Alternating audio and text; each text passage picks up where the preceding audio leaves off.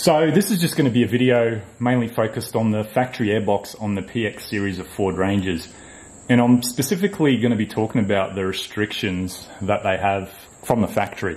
So the 2.2 litre PX Ranger has a factory restrictor that sits here and from a 4 inch intake, which is at the airbox here, it's just on 100 mil, it actually tapers down to a 2 inch.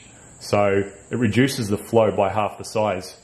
In the 3.2 5 cylinder, this one comes from a 4 inch into a 2.5. Keeping in mind that this opening up here that goes to the turbo is approximately 77 mil in diameter, which is 3 inches. So there's a YouTube channel called Speed Lab, and they do a lot of modification and performance work on Ford Rangers. And they've actually proven on their dyno that the Ford Ranger is the only car that benefits from removing the factory airbox and going to a pod filter setup, which I think a lot of it has to do with this factory restriction. We're going to be changing out the stock intake system with a K&N filter, and this is the mass airflow sensor adapter.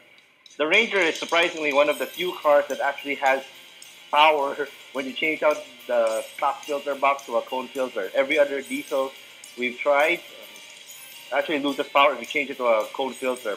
So if there's any other shop that's trying to sell you a cone filter for a diesel, they are lying to you and they are stupid and don't know what they're doing.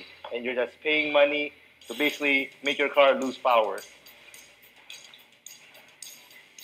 So what I've done with my airbox, just to give it that little bit extra flow, obviously I've removed the, uh, the factory restriction, but another thing I've also done is if you look in here, you can see that there's only about half the flow of air that can get in there with the factory setup.